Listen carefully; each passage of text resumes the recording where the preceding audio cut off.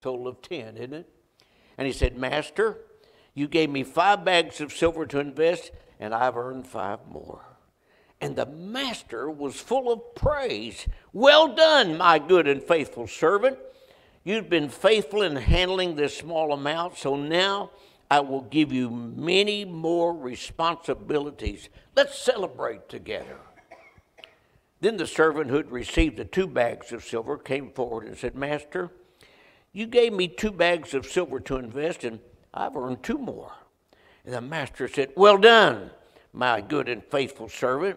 You've been faithful in handling this small amount, so now I'll give you many more responsibilities. Let's celebrate together. Then the master, with the one bag of silver, came and said, Master, I knew you were a harsh man, harvesting crops you didn't plant and gathering crops you didn't cultivate. I was afraid I would lose your money, so I hid it in the earth. Look, here is your money back. And the master replied, You wicked and lazy servant. If you knew I harvested crops I didn't plant and gathered crops I didn't cultivate, why didn't you deposit my money in the bank? At least I could have got some interest on it. And then he ordered, Take the money from this servant and give it to the one with ten bags of silver. To those who use well what they are given, even more will be given, and they'll have an abundance. But from those who do nothing, even what little they have will be taken away. Boy. Now, throw this useless servant into outer darkness. There will be weeping and gnashing of teeth. In the 31st verse, when the Son of Man comes in his glory, and all the angels with him, He'll sit down upon his glorious throne, and all the nations will be gathered in his presence. And he'll separate the people as a shepherd separates sheep from the goats. He will place the sheep at his right hand and the goats at his left. Heavenly Father, in the precious name of Jesus, your servant comes right now, Lord, with aching heart wishing so often I'd do better and more for you to glorify your precious name.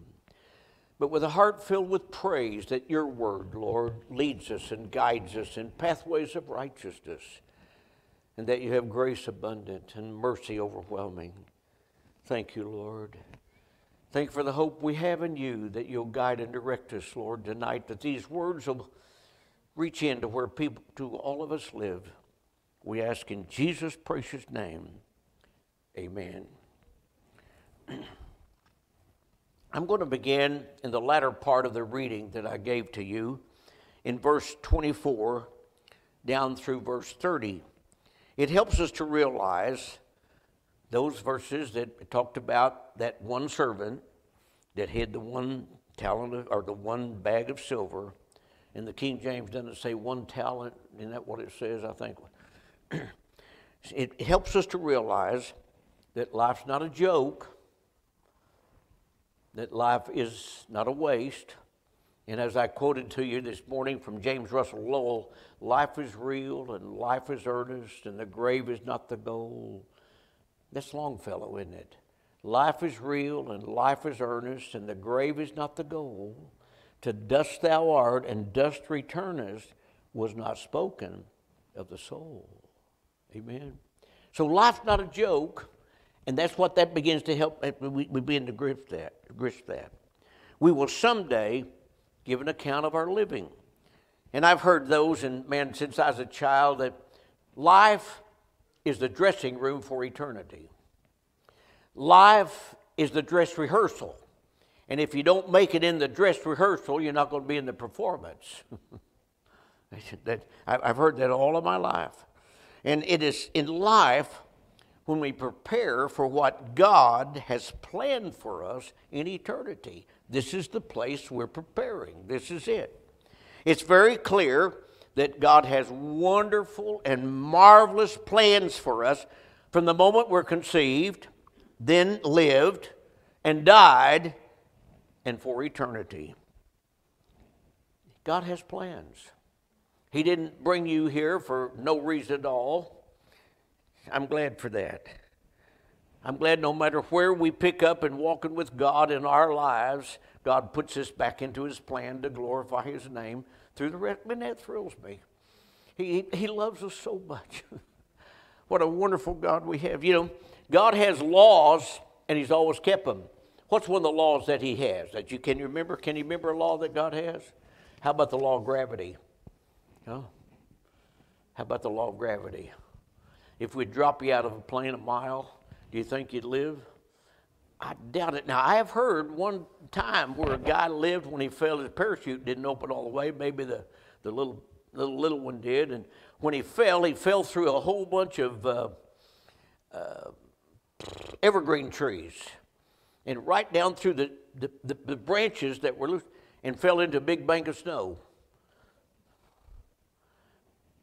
But I don't think any of us that happened with us.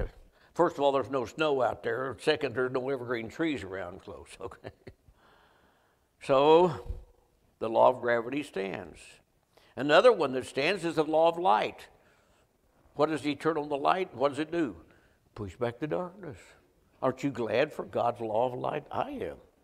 I'm really thrilled about that because the light pushes back the darkness of sin the darkness of hate, the darkness of corruption, the darkness of disappointment, the darkness of all the things that would happen in our life. God, God's light pushes that back. And He gives us something worth living for. I love that. Hallelujah for that. And then another law that God has is we reap what we sow. I was I also heard that could be you rip what you sow. You know, R I P S E W. And all the times that happens too, okay? But we reap what we sow. It's true. The law that all of us, that God has, is that all of us will be rewarded according to our works. Isn't that what it says in the Bible? The books were open and the book of life, and everybody is recorded, is rewarded according to his works. But if your name's not in the Lamb's book of life, not going to make it to the city. And that, and that's something else. But God loves us so much. He loves all of His special creation, and that's you and me, so very much that He asks us to love Him. And love is never forced, but is chosen. He loves you so much, and how He made you a free will person, a person to make choices that he will not make you serve him or go to his eternal, eternal reward to enjoy his home, his heaven. No. If you end your life without him, you've made your choice for hell. Mm. Y'all, God doesn't send us to hell. We made the choice ourselves. I'm glad, that's, I'm glad that God is that. I'm glad we're catching on to that. That God loves us so much, He won't make us serve Him. He honors your choice. He loves you that much that He honors your choice. That's a powerful thought. Say, well, does He really want me now? No, He's going to do everything possible to get you, keep you out of hell. Amen. God, for Jesus warns us over and over. He pleads, Come unto me. All you that labor and heavy laden, I'll give you rest. Come on, walk with me. He's not stiff arming you, saying, Get out of the way, I don't want you.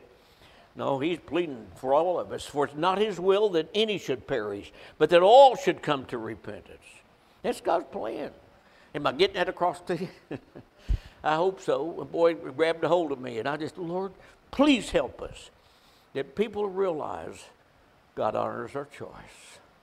And that's the awesome thing. Just think how much God loves us. Just think He honors our choice. Lord, I choose you. Well, you know what? When we choose Him, He'll do everything in the world to help us get home to the city.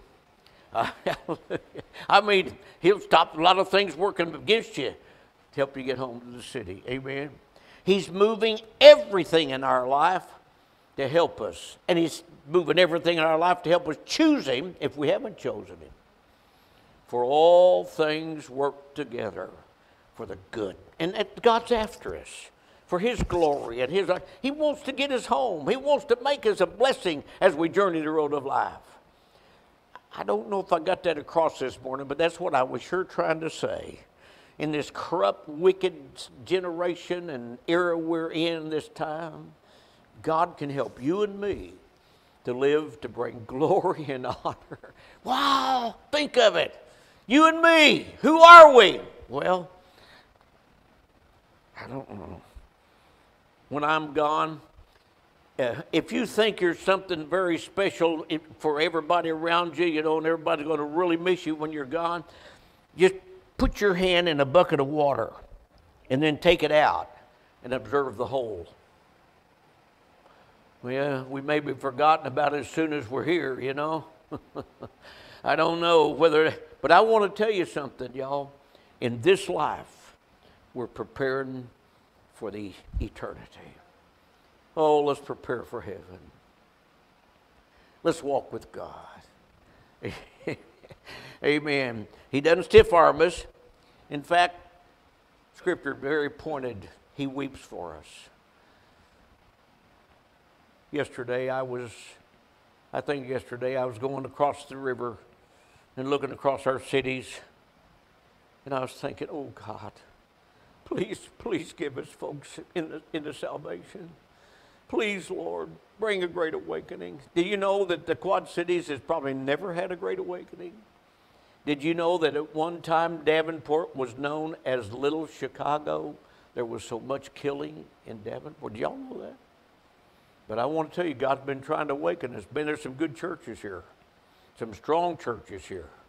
Calvary down the street and Harvest down over here and different ones that are reaching out. And I, I tell you, we, we serve a great God, y'all. He's trying to help folks wake up. So I've been praying, Lord, please. What did he do when he looked over Jerusalem? What did he do? He wept and said, How oft would I have gathered you? And you see, but he said, You would not. What, what is that saying to us? He won't make you. He knew what was ahead around the corner, he knew what was there. But when we turn him down, we reject him. Oh, God, please help us. Well, let remind you again, he loves you so much that he has taken the penalty for your sins and mine on himself. He came to this sin cursed earth. Now, folks, think about it. He left heaven, he left the eternal city and came to this sin cursed earth. That's what happened when Adam and Eve sinned. God cursed this earth. You just think of the beauty that we enjoy. What do you think it was like before the curse came? And He was willing to come. He walked among us without sin. He was rejected. He was cursed. He was threatened. He was denied. He was betrayed. He suffered at the hands of those he had created. He was beaten. He was disrobed. He was nailed to a cross, hanging in agony and in torturous pain. Yet on the cross, he showed his love and compassion again and again. What did he say? Father, forgive them. Wow. now, according to one of the Gospels, it says that both the thieves were railing on him. But one of them woke up, at least one of them really came alive about it. And he said to the other, Why are we doing this? Or why are you doing that? He said, You and I are guilty. He doesn't deserve it. Would you remember me when you come into your kingdom? And what did Jesus say? Today. Isn't that marvelous, y'all? If you don't think God isn't trying to get you home to heaven, you, you need to turn your brain around. Amen. Oh, yet on the cross he showed his love and compassion. And he died in the prime of life. Somewhere right in the time he could have really been going, yet he died. And yet he did in all that, yet he did, is all that we might enjoy the privilege of being his follower. I love it. Verse 31 that I gave you which is not in this story but starts the next one, helps us to remember there's coming a day when God will judge and examine all the people of this world and earth. All of us will stand before Him to give an account of our li- living. Notice this. Notice this. He divided the sheep from the goats. Where did He put the sheep? On the right hand. Isn't that what we got today? the right and the left in the politics and all that. anyway. But now, go back with me a minute. I, I, think something to try to explain. I remember Grandpa Johnson, Johnson would, was really concerned about some of the parables that Jesus gave, and this could be one you're concerned about. For that man with the one talent, with the one bag of gold, what did he say? I knew you were a harsh man. You reap what you didn't sow. You took what it wasn't yours. And what did the master say to him? If you knew I was this kind of man, why didn't you at least give it to the bank? But, folks, what it really should be saying is young man, old man, whoever you are, that you're thinking. Come on. In all of your reading of the Master, in all of your examination of the Master, is there one time he was a harsh man, cursing, reaping where he didn't sow? Not the Master. You see, that was that man's concept. It wasn't how the Master is. I told you that one day my David said, Daddy, perception's everything. And I said, Well, I don't know. But he said, Well, it's everything to the person that has that perception. And yeah, that's probably true. And his perception was what? Totally wrong. Think with me a minute. What was the perception the Pharisees had of Christ? They looked at him totally different than who he was. You see, your perception of him really makes a lot of difference. What did the Lord say to him? You wicked and evil servant. Wow. And folks, he said, cast him into outer darkness. Think about it.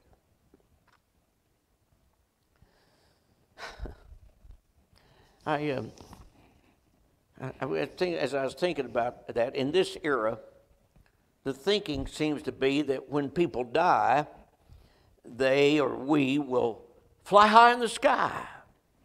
They're going to a better place everything's okay. But let, you let me remind you, that's not what the Bible says. When we face Him, we're going to give an account of our lives. That's what I just read. It just there it is. He divided the sheep from the goats.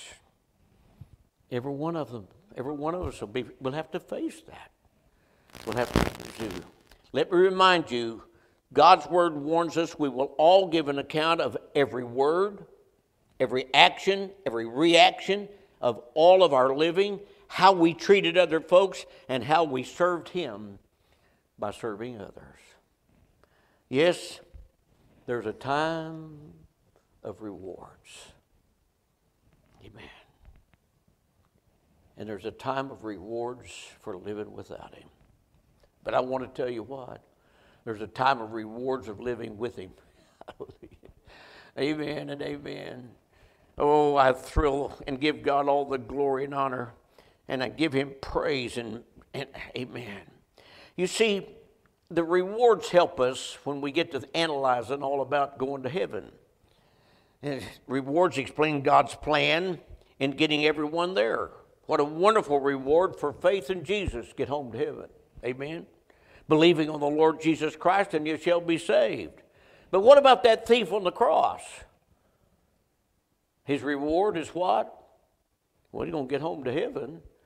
But what kind of works did he have? Remember, that's what it said. He'll be judged. We'll be judged by every one of our works. Every one.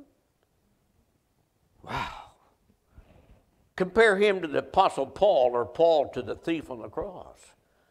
Paul suffered. Saul would beat. Paul went through torture, Paul went through hardship.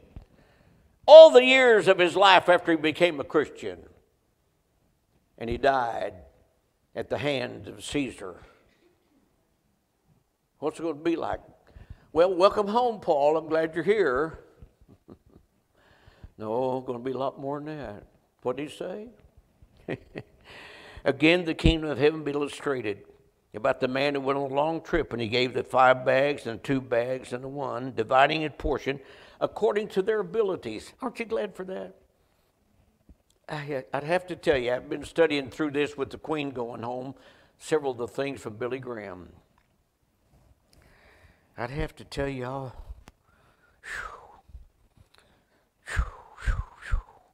I don't know, I don't even know a president, let alone a queen. Huh? what about it? Come on, how many do you know? Do you know any queens, Norma? How about it, Sherry? Got any queens in your life? Well, maybe a lot of folks have played cards and they got queens, but that's not what I'm talking about, okay? They run away from cards, they'll destroy you. But anyway, if I compare my life to according to his, but he said he rewards according to what he gives you. Your ability, how you can do, how you can be, how you've taken what you have that he's given you and used it for his glory. I was telling my wife coming home while ago, I've been coming back to church while I go from meeting. I said, honey, thank you for your good organ playing. I know that's my wife, but listen, y'all, I thank God the lady can play that organ like that. She makes the music ring around here, you know. We don't have a guitar and don't get the drums enough, and thank God we got a violin. Hey, Lonnie, tell her, thank God we got a violin. It's laying right up there in case you need to take it home, too. But, oh, I'm glad for that. But aren't you glad that He rewards according to our several abilities? Huh? How about that? Larry, if he was here tonight, I'd say, Larry, come up here and sing with us. He said, No, not me. Everybody, everybody go home. Aren't you glad God's that kind of God? He looks at how you are. He's given you something.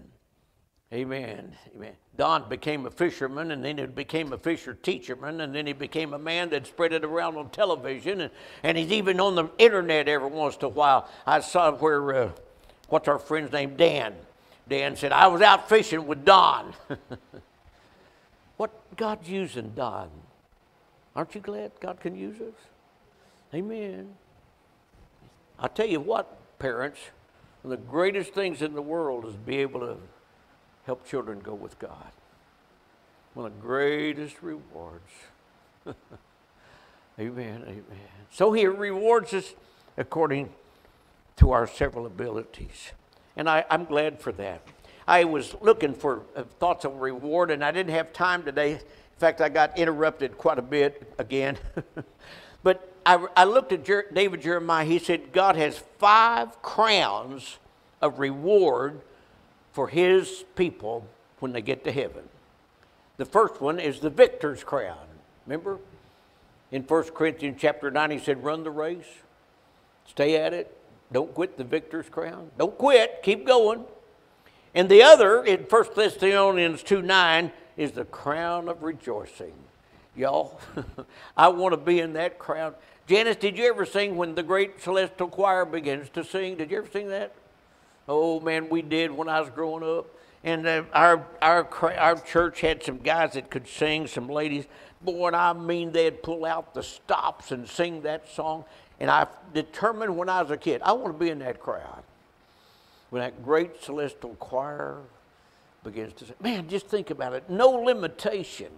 Oh, no holding back. We won't run out of breath. You know, won't run out of words. You'll just keep praising Him throughout eternity. Come on, God has great rewards for us.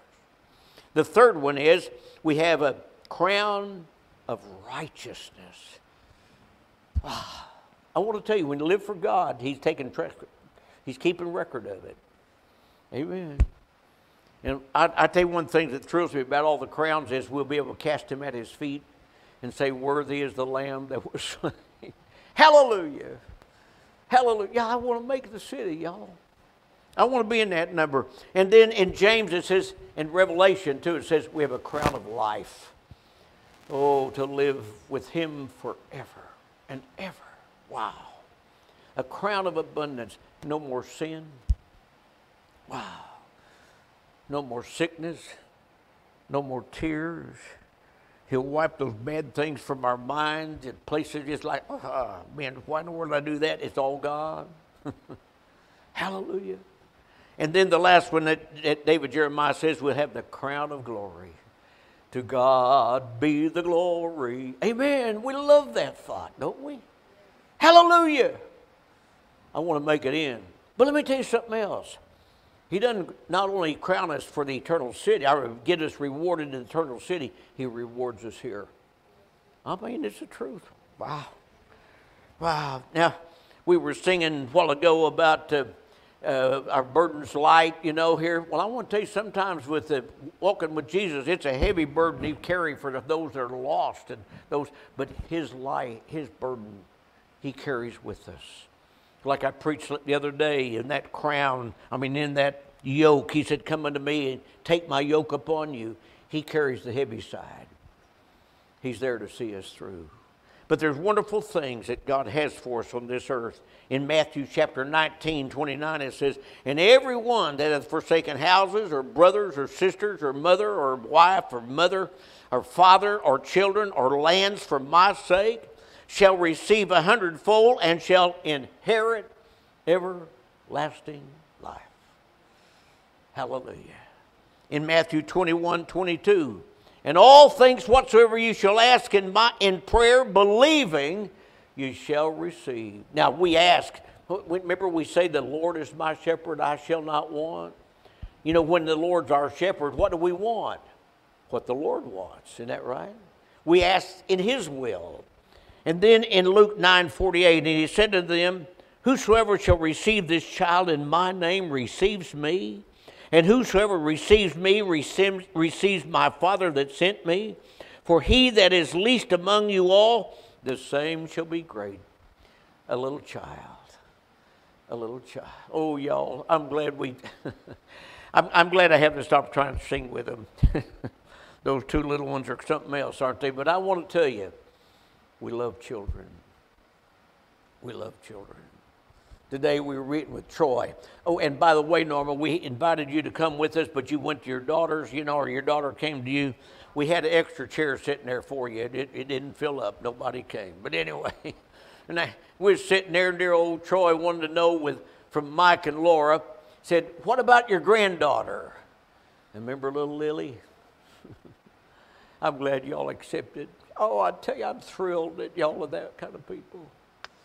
I appreciate you so much reaching out. I, I, wish everything worked beautiful and wonderful, but as long as you got me, you'll have to put up with things, no matter what it is, we'll keep doing for Jesus Christ. Amen. Amen. In John chapter 16, 24, he said, You've not ever asked before, ask anything in my, in, in my name, but if you ask in my name, you shall receive it. And I like this little thought that your joy might be full. Isn't that beautiful? Y'all, He wants to give us His joy and peace and His love as we journey this road of life. He wants to fill us full and run us over with it. That's why I love to come and sing together and praise Him. Oh, somebody said you preachers like to sing because you want to hear your voice. No, I want to praise Him. He's worthy of our praise. He's worthy of our of everything about our lives. Why? He fills us with joy unspeakable and full of glory. The peace passes all understanding. His love is beyond comprehension. What a God we serve, y'all. I love him. I love Jesus. Oh, what joy it is to walk with him on this road of life. And in Acts chapter 1 and verse 8, it says, You shall receive power after the Holy Spirit has come upon you. And folks, that's what He gives us power to live this life, to bring glory to His name, and to be witnesses throughout the world. Lonnie, thanks for doing your best to help us get online to try to get all around the world for Jesus' sake. Can we touch somebody? Y'all, if there's one person makes it to heaven because of what we've invested, what does the Bible say? Worth the world. That's how valuable you are. You're worth the world. Hallelujah. I love that. In Ephesians chapter 6 and, and verse 8, knowing that whosoever knowing that whatsoever good things any man does, the same shall receive of the Lord, whether that man's a slave or whether he's a free man. In Colossians 3:24, knowing that of the Lord you shall receive the reward of the inheritance, for you serve the Lord Jesus. I love it, don't you? Amen. It's going to be worth it, y'all. Sometimes when we go through hard places, and we've been walking with some through some hard places, and here's our dear ones, and, and Myrna, you've stood by your little daddy for all of these years, and thank you for how you've tried, and Myrna, how you've, and, and Cheryl, how you stood true. Bless your hearts. Oh, I tell you, there's a reward coming for being true to Jesus Christ. What a day that's going to be when my Jesus I shall see. Father, bless the word to us tonight. May your name be honored and glorified by all that we do and say. We ask in the precious name of Jesus. Amen. Lottie, let's go to We'll Understand It Better By and By. Y'all know that song real well, don't you? Janice, get up here and sing with me so they can see you because Lonnie didn't take it offline until after a while. I, and Myrna, come on. Amen. Oh, praise the Lord. We're doing our best to make these things work. They don't all work real good, but they, they keep going. The thing I found out about electronics, it, it has glitches, bad ones. We are often tossed and driven on the restless.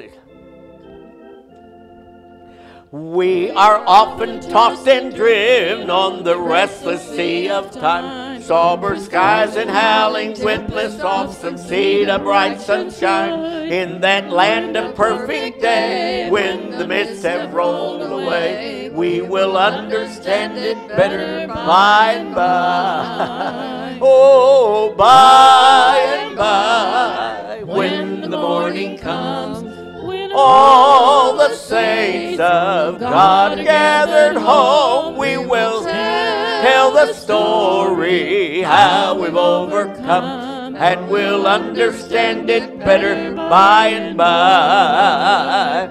Trials dark on every hand, and we cannot understand all the ways that God would lead us to that blessed promised land but he'll guide us with his eye and we'll follow.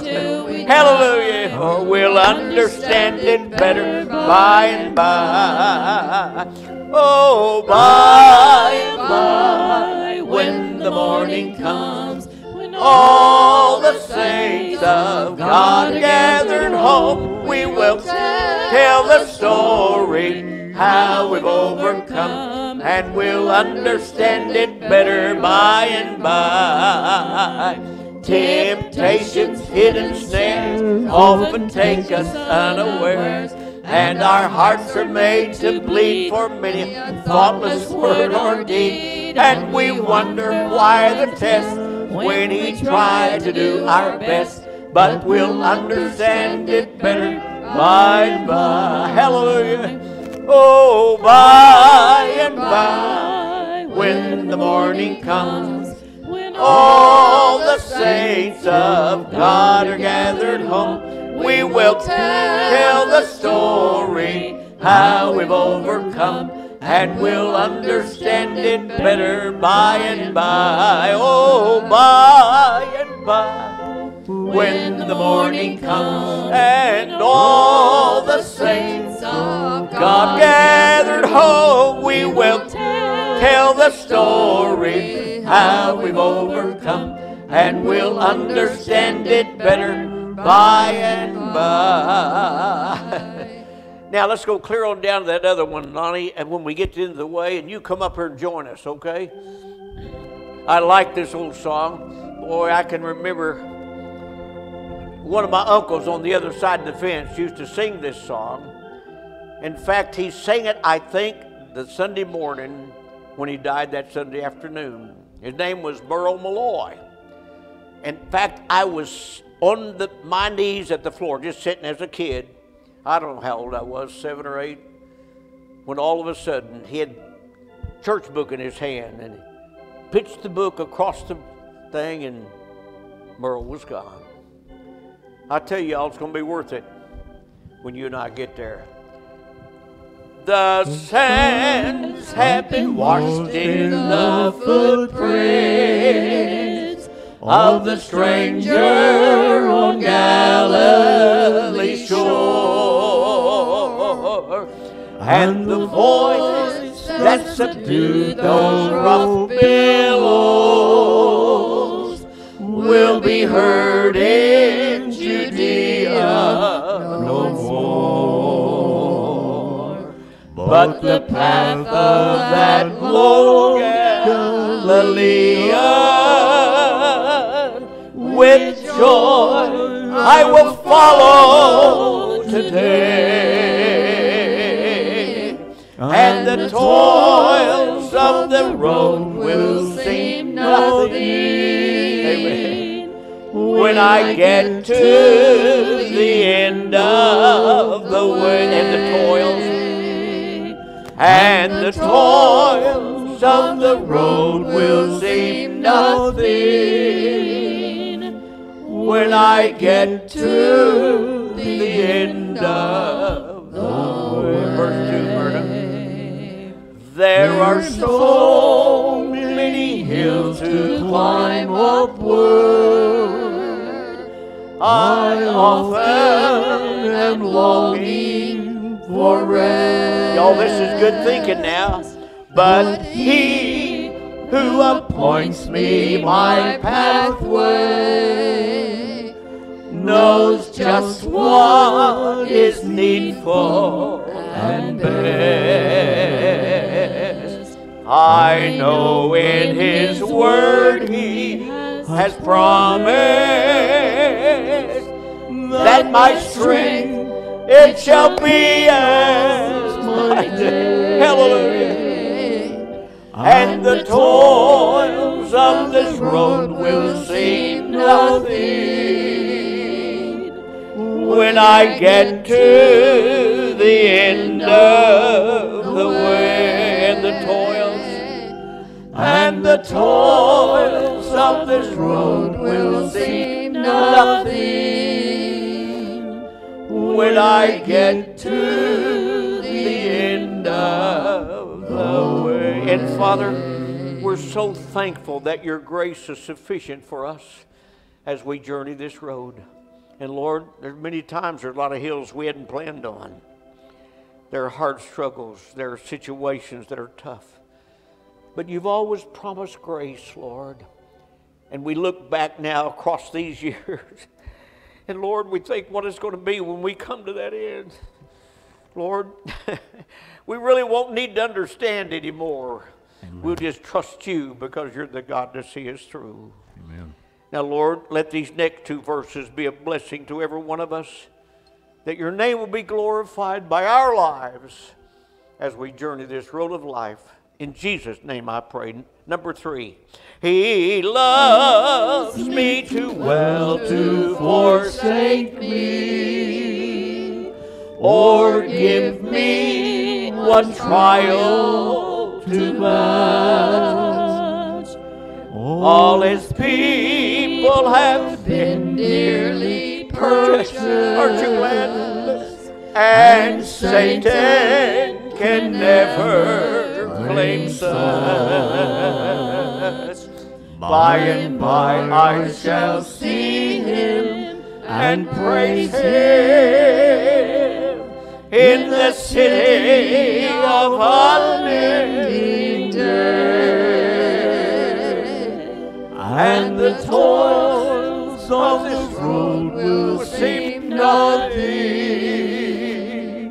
when I get to the end of the way. And the toils of this road will seem nothing. Bless his name. When I get to the end of the way. When the last feeble step have been taken and the gates of that city appear, and the beautiful song of the angels flowed out on my listening ear.